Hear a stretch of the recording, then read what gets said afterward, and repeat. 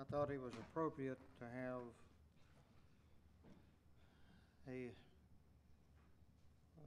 person from Great Britain, to introduce a person from Great Britain. You know, Ken Chumbley uh, is uh, native of England, and he couldn't help that. It was, it was, it was not his fault. When he could make a decision about where he really would like to be from, he came to Texas and married a Texas girl. So he no longer has an English accent.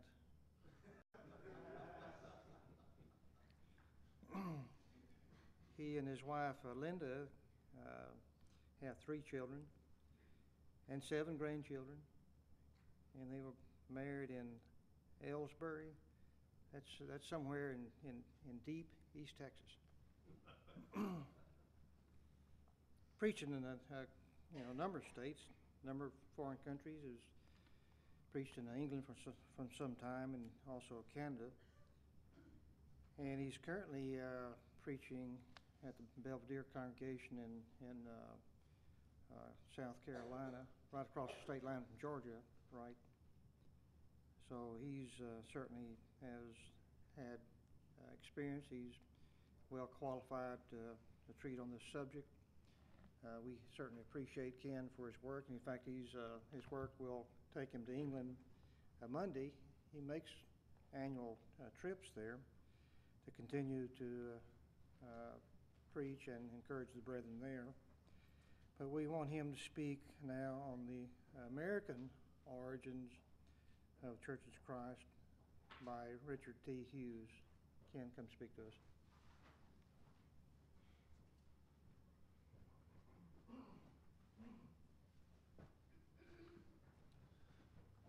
Thank you, Ken. I do appreciate the opportunity of being here again. I thank the elders for having me come, and for David, and for John, and even for Sonia for all that she does in the work of the lectureship, and appreciate all the brethren here for all that they do to make this a good and uh, profitable time.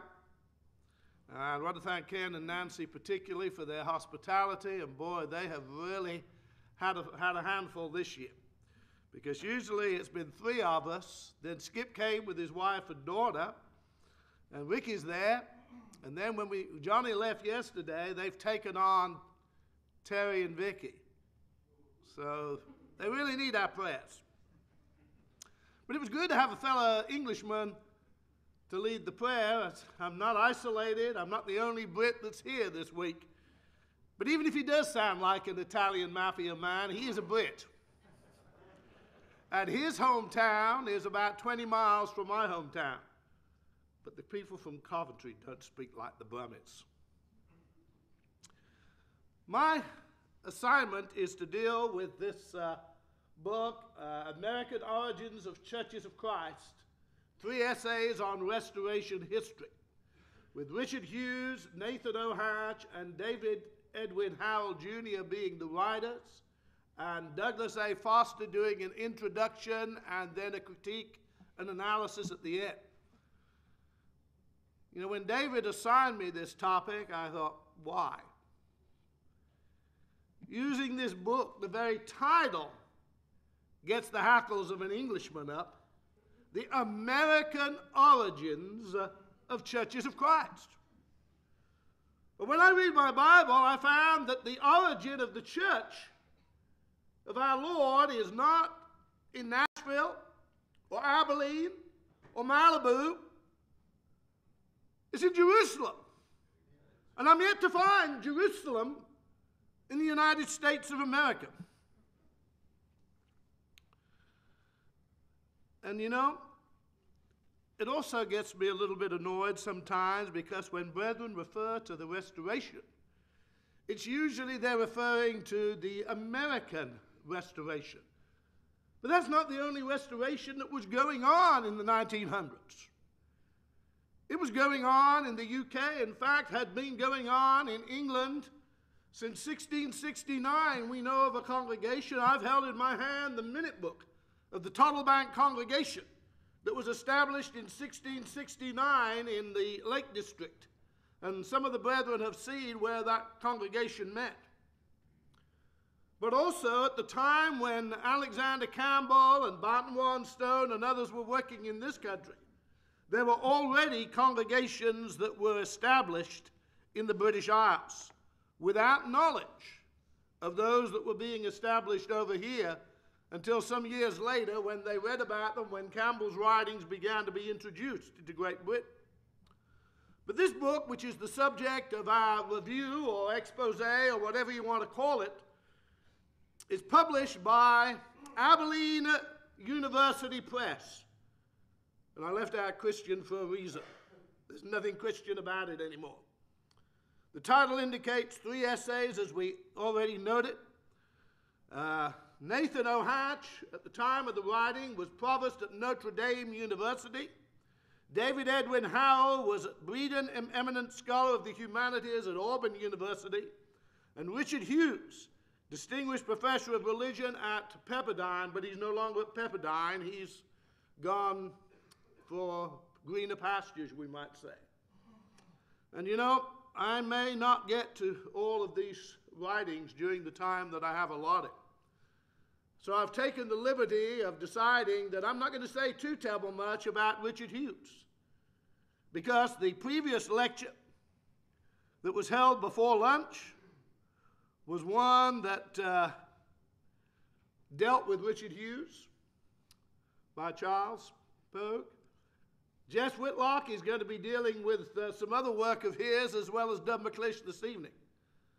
So, you know, if I don't get to deal much with Richard Hughes, then it's in the book, but they'll be dealing with it in other ways. Douglas Foster, as he introduces the work, says, without question, the essays in this volume are landmarks in the histo- historiography and self understanding of the Stone Campbell movement. And Foster, of course, is from Abilene especially churches of Christ. Notice the expression Stone Campbell movement. This has been brought up before.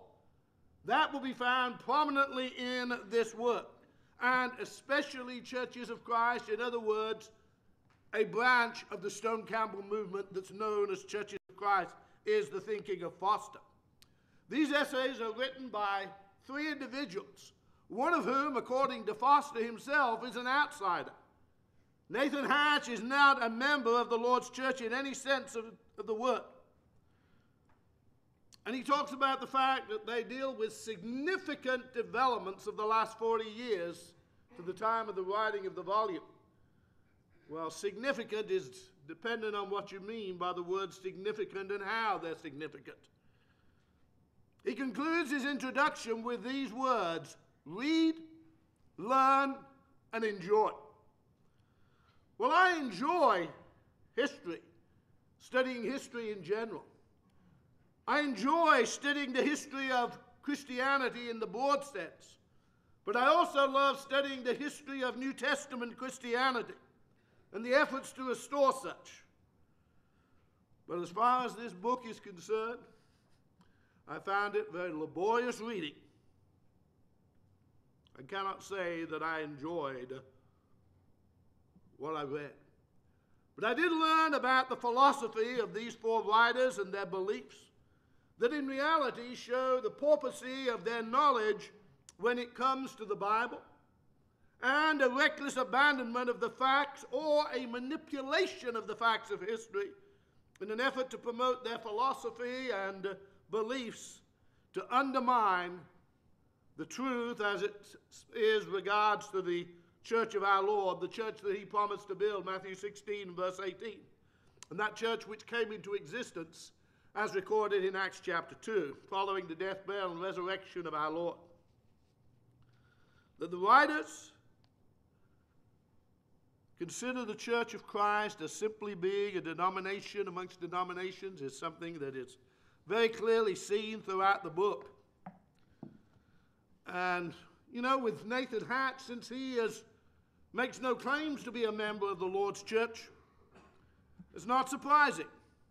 But the other three writers, claiming to be members of the Lord's church, clearly show a desire to denigrate the blood bought body of Christ, to promote their theory that the church is simply a denomination. And it's no surprise when we consider the stance of those who operate the schools where these folk were working at the time. Those Pepperdine and Abilene.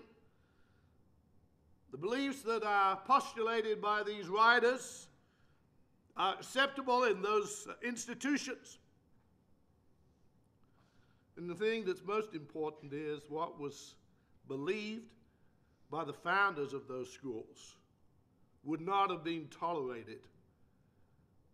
The, they would not have tolerated the beliefs that are shown in this book. Let's look briefly at the introduction by Douglas A. Foster. As we've indicated, it's clear that he does not have a concept of the church that Jesus promised to build and that was established on Pentecost. He, in reality, rejects the whole concept of New Testament Christianity. And that is the basic thesis of the other writers. And so, what this book, although it purports to be about the churches of Christ, is an effort to undermine the work of the Lord's church. We see constant references to the Stone Campbell movement. You know, that term has been coined uh, by liberal brethren and those associated with the independent Christian church and disciples of Christ as a means of referencing the rest- restoration of New Testament Christianity in the 19th century. And I know why they don't particularly like the idea of restoration. Because when you talk about restoration, the concept is restoring something to its pristine purity. Well, they reject the concept of restoring New Testament Christianity. They're not about to restore anything. And so the term restoration movement is pretty much an anathema with them. Because they're not trying to restore New Testament Christianity.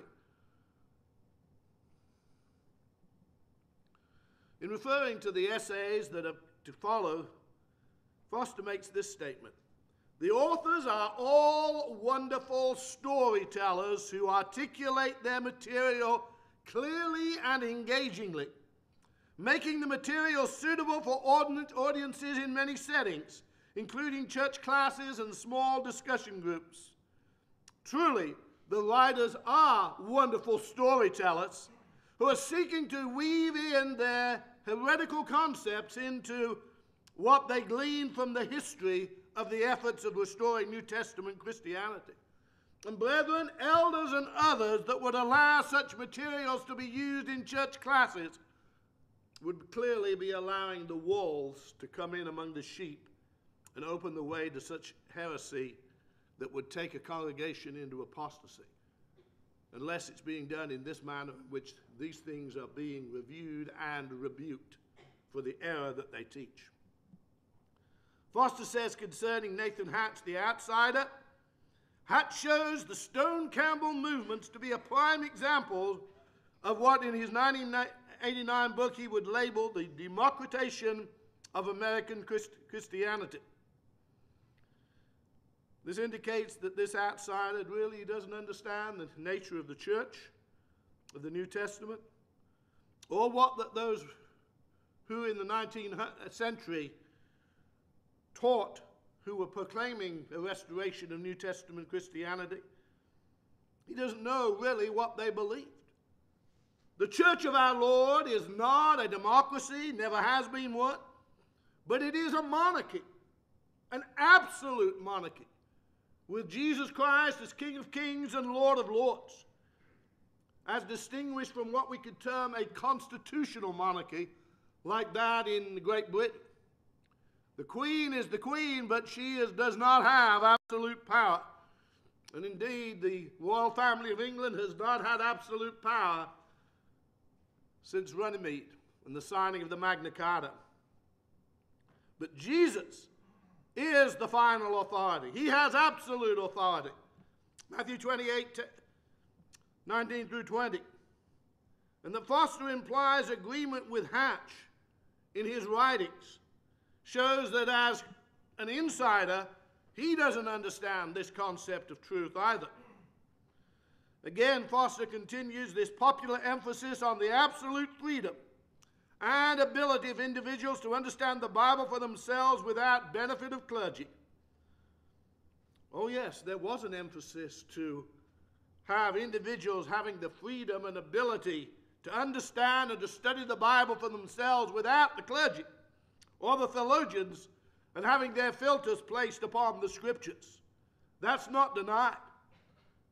But such does not imply that the Lord's church is a democracy.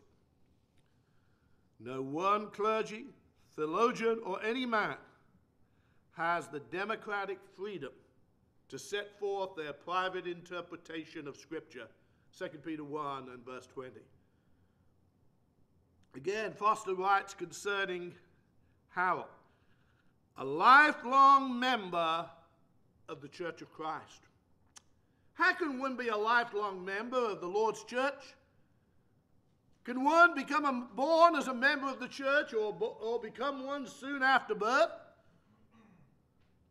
Doesn't make sense. But he says concerning Howell Howell provided in his 1964 essay the first scholarly explanation of the largely southern origins and character of churches of Christ.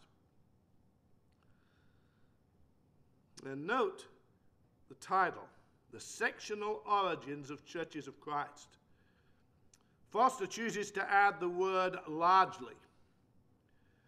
But whether it is sectional or largely southern origins and character, the truth is such that it does not follow the historical facts to state such.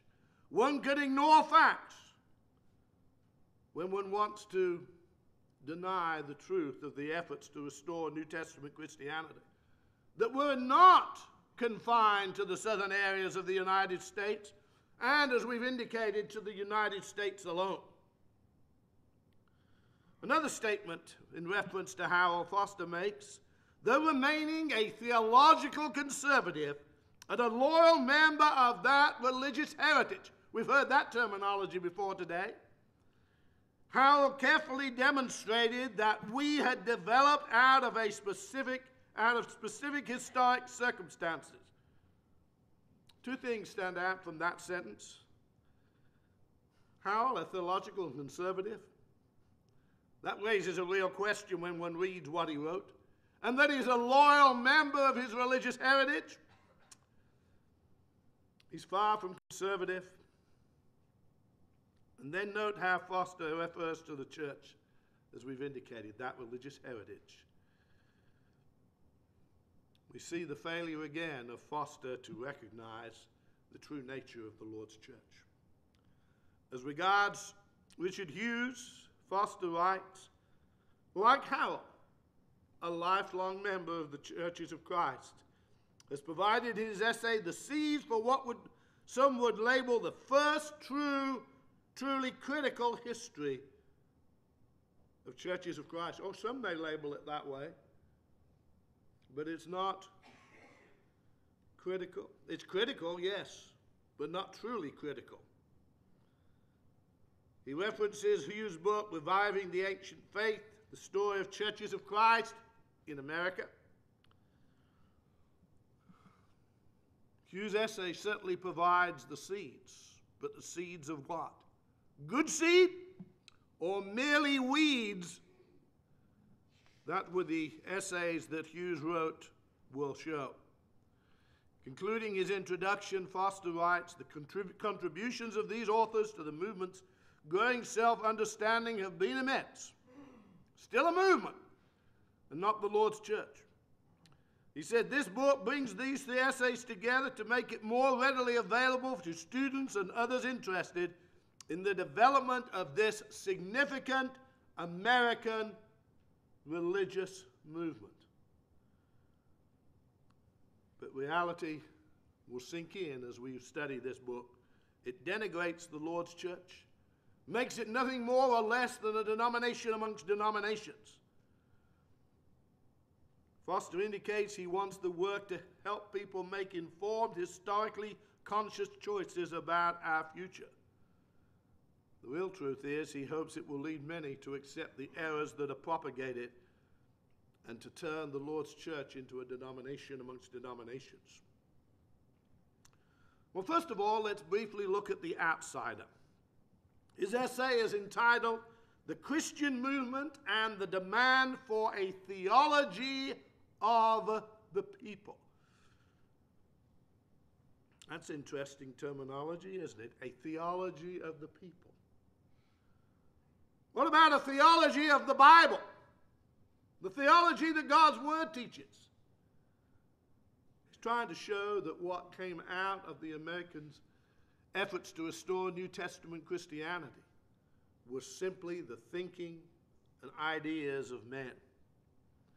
The basic thesis of this essay is to show that the efforts to restore the New Testament church in the 19th century were brought about because of the changes that came as a result of the,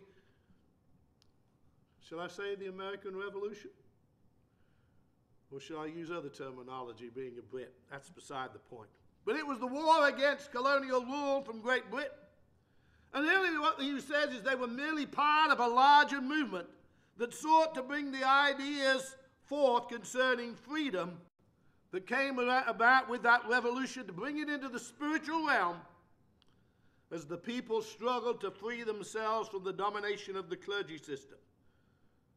Now, while there is some truth to the fact that freedom from colonial rule did bring forth a desire for religious freedom, that alone cannot account for the growth of the church during that period in this country. Hatch writes To explore these questions, this essay will focus on the cultural roots of a movement that assumed the name Christian or disciples of Christ. Between 1790 and 1815, this loose network of religious radicals demanded, in the light of the American and French revolutions, a new dispensation set free from the trammels of history, a new kind of institutional church premised on the self evident principles of republicanism, and a new form of biblical authority calling for the inalienable right of common people to interpret the New Testament for themselves questions he references are these What became of American religion in those years, 1780 to 1820, when traditional values were being turned upside down by what Gordon S. Wood had called a democratization of the mind? What happened when people began to call for a strenuous application of popular sovereignty to the church? What did Christian freedom come to mean for people ready to question any source of authority that did not begin with individual choice. Notice where he places the source of authority. Not with the Word of God, but with individual choice. Much of his account, Hatches that is, gives brief notes concerning some leaders of those who sought the restoration of New Testament Christianity.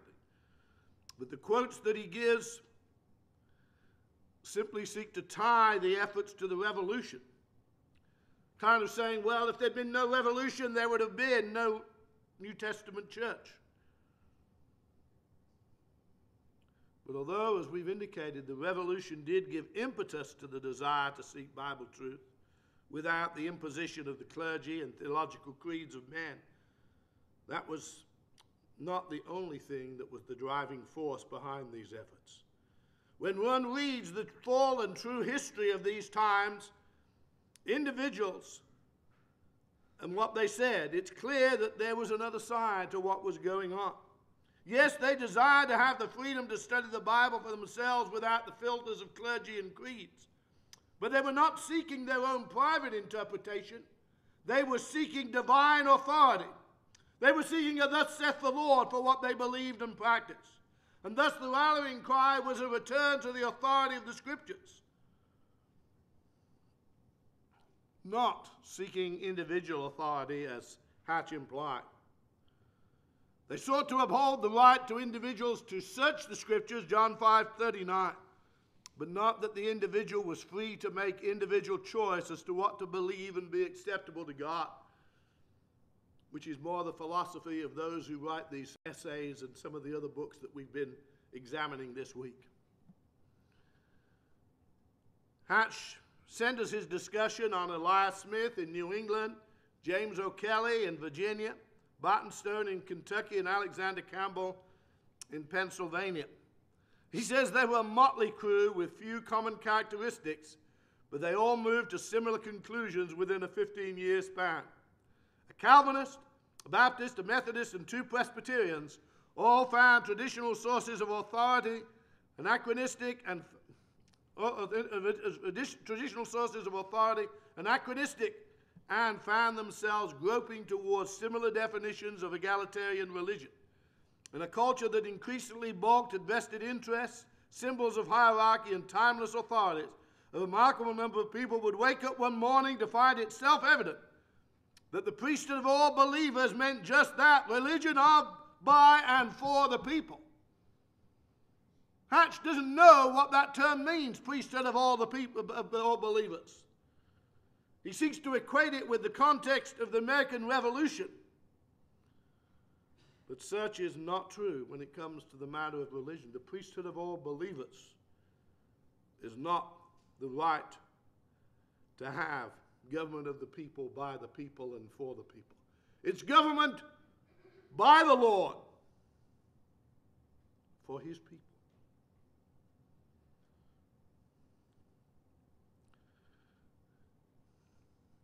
He makes quotes from Elias Smith and O'Kelly that indicate their opposition to what was going on in the revolutionary period as far as the uh, colonial government was concerned, and seeks to move those statements pulled out from what they said to make it out as though they were only trying to do what the revolution was doing. Smith stated, Many are Republicans as to government, and yet are but half Republicans, being in matters of religion still bound to a catechism, creed, covenant, or superstitious priest. Venture to be as independent in things of religion as those which respect the government in which you live. What was he advocating? There would be a government There'd be no government or authority in the church? Was he speaking out simply against the unscriptural authority of priests and catechism, of catechisms and so forth? It indicates that Smith and his followers called themselves Christians, that they carried on a blistering attack upon Baptists, Congregationalists, Methodists, and Federalists of any religious persuasion. Why? because they were seeking to promote a return to biblical theology and their opposition to denominational divisions and doctrines of men. If they were advocating individual interpretation of Scripture, they would not have railed against others who were seeking to uphold the teachings of men. Kelly was clearly opposed to unscriptural church government because he opposed the work of Francis Asbury in setting up an Episcopal system for the Methodists. And he said, I shall oppose your political measures and contend for the Savior's government.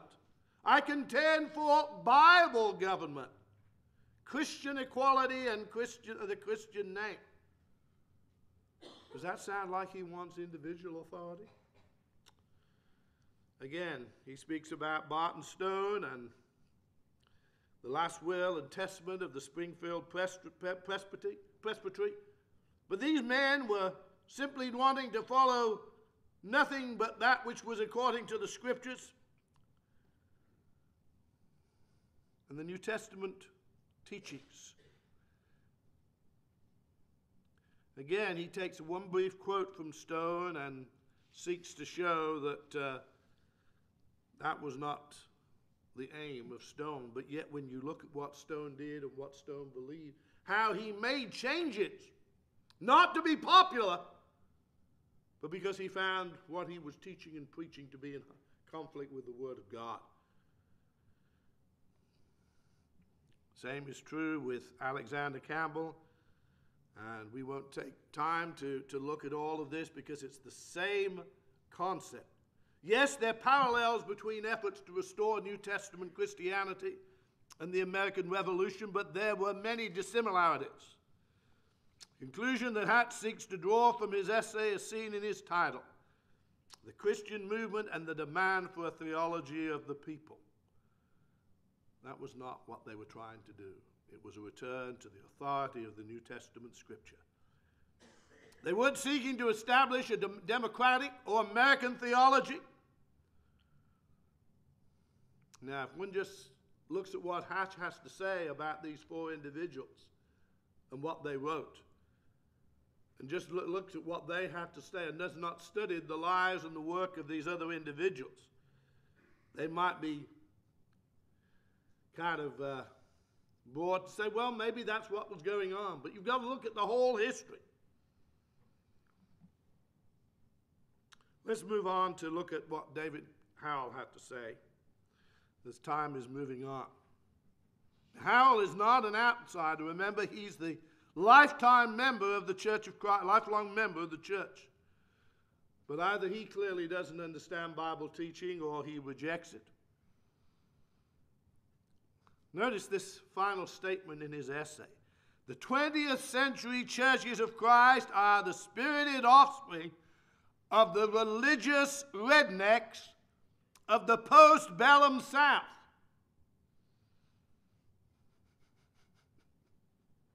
Any Yankees in here that might get a little bit offended by that statement? I know there's one Brit that does. I mean, what he's trying to say is again, the church is a denomination among denominations, not the blood bought church of Christ, Acts 20 28, Matthew 16 18. And he goes on to give a potted history as well of the church from the early 1800s to the 1960s.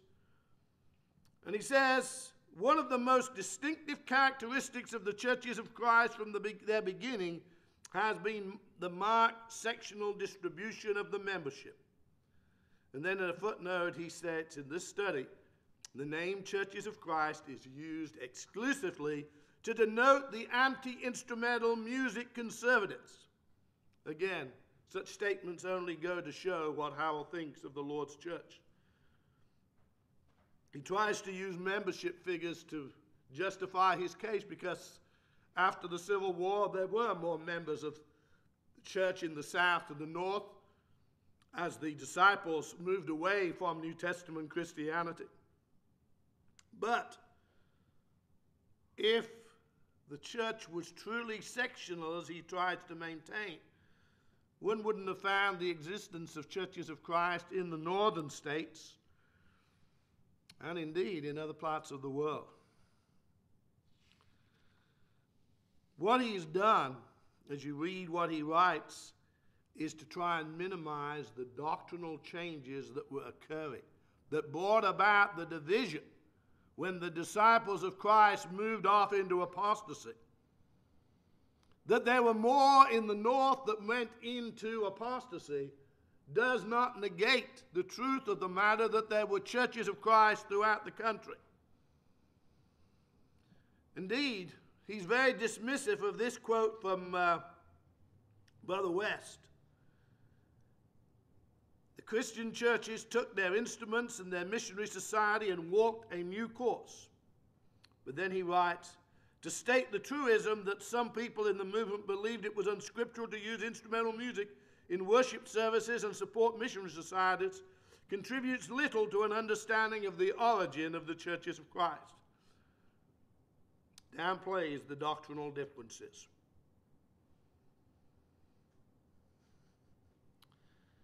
He then seeks to ask, answer the question he raised what are the sectional origins of the group? And informs us the most likely place to look for the sectional origins of a church in the 19th century is in the wake of the bitter struggle centering around slavery and culminating in the Civil War. Historians of the disciples have seriously underestimated the impact of these sectional pressures on the movement. And in an effort to bolster his case, he recounts some of the history of the period leading up to the war that, with the concerns that were offered over slavery, tensions running high amongst brethren, and points out the role of the missionary society in its advocacy of the Union position.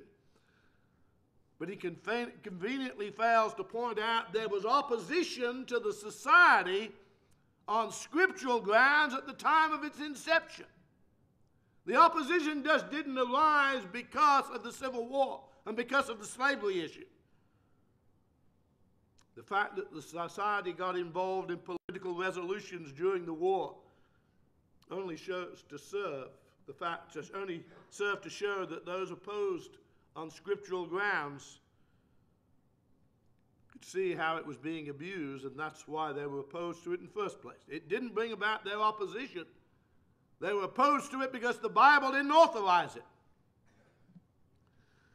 And Harrell uses another interesting argument here. After the war, the South continued to be rural and agriculturally based, whereas the North more urban and where industry continued to expand. He points out there was a marked difference in the value of church property, giving some figures to show differences, and then states the meaning of these figures is obvious. The conservative churches of Christ preachers in the South were identified not only with a sectional audience, but also with an economic class. He then seeks to show by some quotes that it was basically jealousy that caused the opposition to the instrument and the missionary society. But remember, the opposition to the missionary society predated the war. The instrument only came in at about the time of the end of the war. But you know, I have a problem with what he says here about the economic situation, the South being rural and agricultural. And therefore, they went in one direction, whereas the more prosperous North with the industry went off in the more liberal direction. Where was it that lib- the liberalism came in? The Missionary Society and the instrument? Yes, it came in in the North, which was industrialized. But the churches in Great Britain didn't advocate, did not have any problem with those trying to introduce the instrument until some tried to bring it in from the States many years later. In fact, by 1936, very few of the English churches that were part of the old cooperation were using instrumental music. And don't tell me that England was a rural agricultural society at that time period.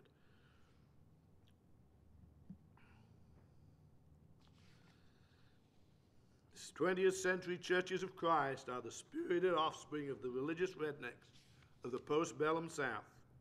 I'm offended by that statement. And I believe all lovers of truth and the church of our Lord should be offended by it. Looks like I'm being offended again. Someone turns around. I will leave out the section by Richard Hughes, the ap- apocalyptic origins of churches of Christ and the triumph of modernism. As I say, he's being discussed elsewhere. Except to say this, he tries to point out that churches of Christ should have aligned themselves with the fundamentalists rather than oppose those who sought to bring in premillennialism. You can see that when you look at the book. In his critique and analysis at the end, Foster writes that there are some differences between the three essays as well as some similarities. He points to minor areas where he believes the writers did not come to accurate conclusions, but he writes nothing that would rec- refute the stance of these three essayists that the Church of Christ is simply a denomination among denominations. He concludes his critique and analysis with these words With all that said, one can only reiterate the immense importance of these three studies and hope by engaging them, the readers will have a greater sense of the work that still needs to be done on this rich historical tradition. Church is just a rich historical tradition, not the Lord's body.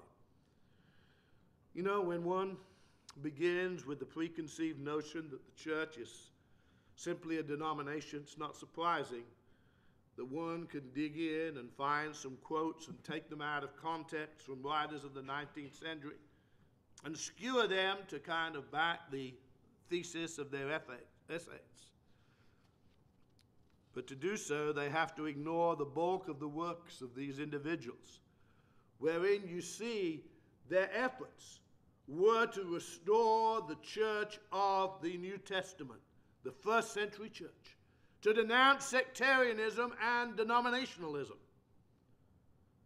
But each of the writers of these essays, along with Douglas Foster in his comments in the introduction and critique, all deny one basic Bible principle the seed principle. The seed principle that is clearly taught in the New Testament. If you want to hear a lesson on that, listen to the lectures from Cambridge a week from Saturday. I'll be speaking on that topic. But in Luke 8, our Lord tells the parable of the sower. Note what he says in verse 11. Now, the parable is this the seed of the kingdom is the word of God. We see here in the parable the principle of sowing and reaping set forth. When a seed is sown, the result, resulting fruit that comes from that seed will be that which that particular seed produces. Now, we've got some packets of seed at home that come from Texas that we haven't planted yet. And those who are native Texans will probably know what those seeds are. Or at least that's what it says they are. So if we plant bluebonnet seeds, what do we expect to grow? Bluebonnets. Not Indian paintbrushes, not corn, not wheat, not cotton. Now, if the packaging is wrong, we may get something else. But if the packaging is right and it is what it says it is, if they'll grow in South Carolina, what we're going to get is bluebonnets. Nothing more than nothing less. In the spiritual realm,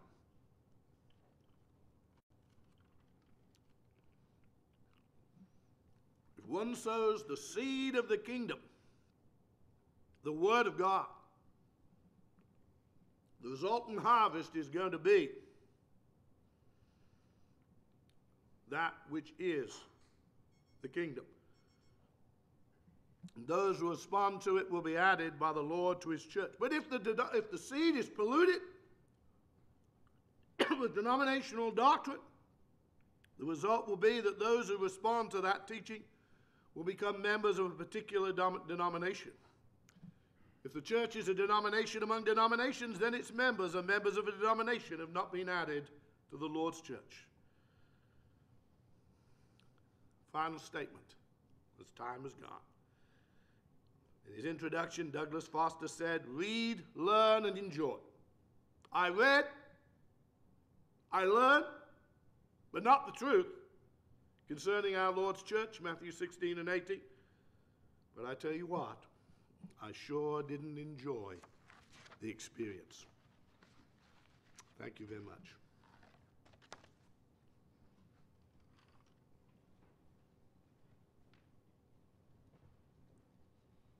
Thank you, Ken. That was a very capable treatise uh, on uh, such a disgusting subject, but nevertheless, uh, you can't really treat it properly in such a short time. Realize that, but we just weren't going to give him more time. Um, if you want to know the complete uh, uh, treatment of it, you've got to buy the book. Certainly encourage you to do that. With respect to uh, keeping all these individuals at our home, you know, Nancy and I said that uh, to the extent that we can, we're going to use our home to, in the Lord's work.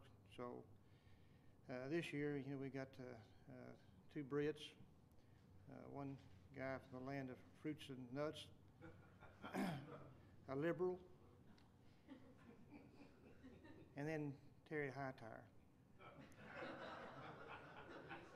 we just we just didn't realize the Lord was going to test us so severely. but uh, certainly do uh, appreciate. Uh, speaking of Terry and, and Vicky, you know they uh, they they went to the house yesterday early. You know they got there before we did, and the and the windows you know, the windows are all fogged up. Uh, you know, that was interesting. But there's a very uh, innocent explanation of all that. Uh, Vicky was driving, and she had the windows down when they're driving home, kind of air the place out, you know. But she, when she killed, you know, killed the engine, she had to raise the windows up. Well, Terry never did stop talking. So it fogged the windows up.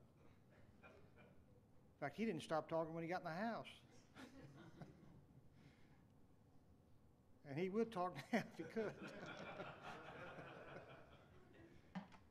uh, we certainly do appreciate all that uh, we've uh, hosted, and, and Terry and uh, certainly Miss Vicky. Uh, we, we would like to hear from her before she leaves. And we enjoyed, of course, always enjoy Ken, having Ken there, and, and uh, Johnny, and Skip, and his lovely wife and, and daughter. Certainly appreciate having them. And Ricky Gambino, it's a, a treat to have him. Uh, he's learning all about Obamacare and all the other good qualities of American politics. And we're learning something of uh, British politics too. And as I say, you know, together we have come up with a plan to uh, correct all the problems of the world.